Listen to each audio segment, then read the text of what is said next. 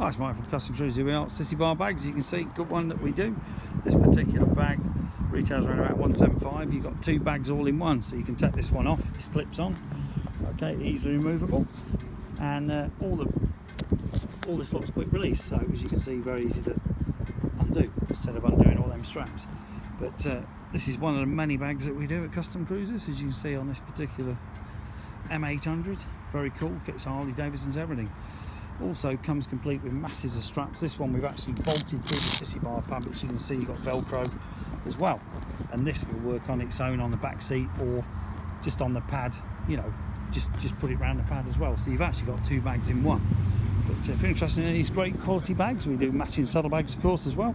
Give us a call, 01773835666. Alternatively, customcruisers.com. The new site, customcruisers.e, a lot of issues with that, but when it's done, it will be pretty cool.